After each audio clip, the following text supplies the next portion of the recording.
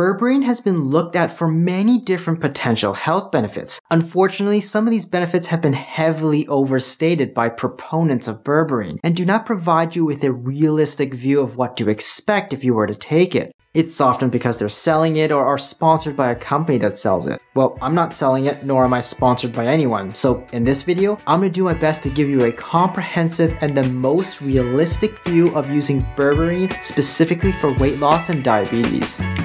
Berberine is a chemical that's found in a number of different herbs, including European barberry, golden seal, gold thread, greater celandine, and Oregon grape. In fact, many of these herbs owe a lot of their beneficial properties to the fact that they contain berberine. So if you've ever been interested in trying one of these herbs before, you might be better off just getting pure berberine than trying to get an extract of one of these herbs. For example, taking a golden seal tincture or European barberry extract is mostly beneficial thanks to the berberine. And because purified berberine removes any contamination or harmful impurities that might be found in the raw golden seal or European barberry herbs, I suggest you cut straight to the chase and take berberine instead. The most commonly cited benefits of berberine with relation to obesity and diabetes are 1. Having anti-inflammatory effects. 2. Being able to help with blood sugar control. 3. Reducing cholesterol levels, especially LDL levels. And 4. Reducing the production of fat cells. Of these four benefits, only three of them have some evidence it will help in humans, since the reduction of fat cells has only been shown in petri dishes and rodents, not humans. Of these three benefits, only two of them have effects that are likely to result in any weight being lost, since reducing cholesterol levels is mostly beneficial to cardiovascular health, which is good, but won't be helping you to lose weight anytime soon. Of these two benefits, the potential ability to help with blood sugar control is realistically going to be the bigger contributor to any potential weight loss, although reducing inflammation will possibly be helpful as well. The way berberine helps with blood sugar control and reduces inflammation is by helping to stimulate a protein called AMP activated protein kinase, or simply AMPK. Activating AMPK does a number of different things in the body, like reducing the amount of glucose the liver produces and pours into the bloodstream. The overall effect is helping to reduce sugar in the blood and reducing inflammation, particularly in those with metabolic diseases like diabetes. Now, most supplements will use the berberine HCl form, which is generally the form you should look for when you're using berberine. This form is not well absorbed by the body. In fact, most of it is not absorbed at all, and much of it is metabolized by the liver, rendering it useless. So researchers have looked for ways to improve its absorption into the body. One such form is the creation of dihydroberberine, a derivative of berberine that appears to be much better absorbed than regular berberine.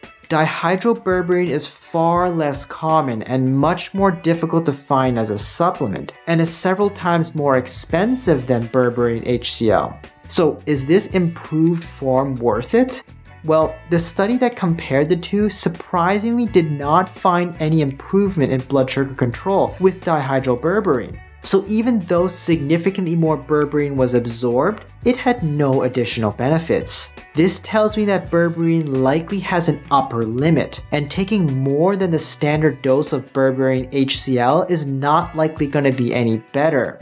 At that point, the only benefit of dihydroberberine would be the possibility that you can take less dihydroberberine and achieve similar effects. However, the cost difference is still too large, and the regular berberine HCl dose, which would be around 500 milligrams 2 to 4 times a day, or a total of 1 to 2 grams a day, is more than enough to achieve benefits, and still be much cheaper than trying to take a smaller dose of dihydroberberine. So despite regular berberine being poorly absorbed, the evidence would suggest that you don't need too much berberine to be absorbed for it to be effective. In fact, taking too much berberine is one of the common ways side effects occur. Some of them are related to gastrointestinal issues such as stomach pain, gas, bloating, and nausea. However, when taken at a reasonable dose, berberine is pretty well tolerated. It does interact with certain medications since berberine affects the metabolism of the liver. So if you're taking any medication, particularly drugs that also interact with the liver like cyclosporin, you need to ask your doctor if it's safe to use. Berberine can also theoretically lower blood sugar and blood pressure levels. So if you're taking any diabetes medications or blood pressure medication, you should also work with your doctor to make sure your blood sugar or blood pressure doesn't get any unexpected drops. It doesn't necessarily mean you can't take berberine if you're taking a diabetes medication like metformin, just that you should ask your doctor first for guidance. In fact, studies have combined and compared metformin with berberine before. There's interest in both because they're both AMPK activators and seem to provide some similar health benefits. Metformin is just a stronger AMPK activator. Studies have compared the two and found pretty similar effects on blood sugar control in diabetics. For cholesterol control, however, berberine seems to have the upper hand. Most evidence would suggest that berberine is better than metformin at helping to lower cholesterol levels. People taking berberine are also less likely to have side effects than those taking metformin and tolerate it better overall. Now, metformin is better absorbed than berberine in the body, but with similar effects on blood sugar and with berberine having more effects on cholesterol, you might be wondering why the heck doctors don't just recommend berberine for diabetics instead of metformin. There are a few reasons why. For one, there is still much more robust research behind metformin, and even though berberine has some smaller studies behind it, the research behind metformin is far greater.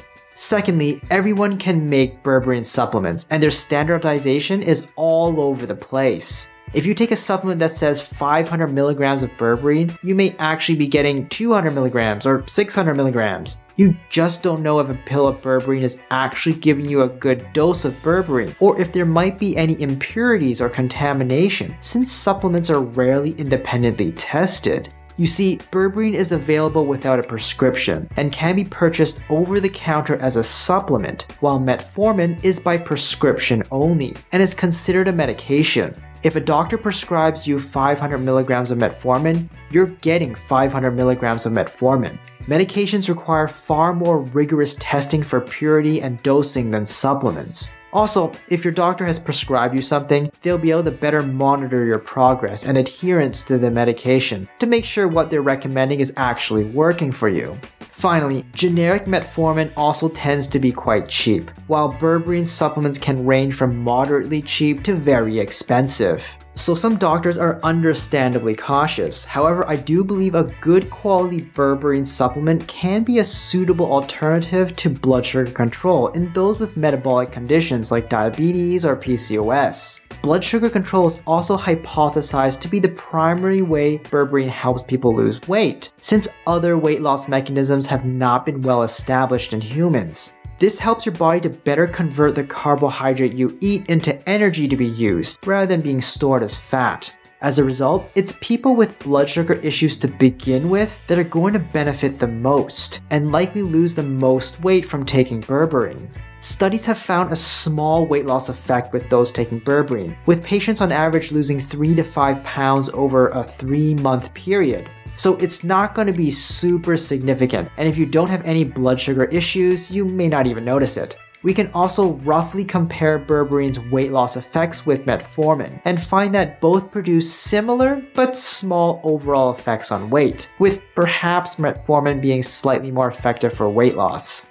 To summarize, berberine can be a useful alternative to metformin and help those with diabetes to control their blood sugar levels and manage their cholesterol levels. It may also help you to lose a little bit of weight, but don't expect miracles. If you do decide to try it, you should look for a quality berberine supplement. It doesn't have to be dihydroberberine, but it should be independently tested for purity and dose. Finally, while berberine is relatively safe to take at standard doses, you should still ask your doctor, especially if you're taking other medication. Hi, I'm Dr. Brian Yeung. Do you use berberine and how are your experiences? Let me know in the comments down below. Subscribe and hit the notification bell to stay up to date. And if you found this informative, please leave me a like and share this video with someone you know can use the info.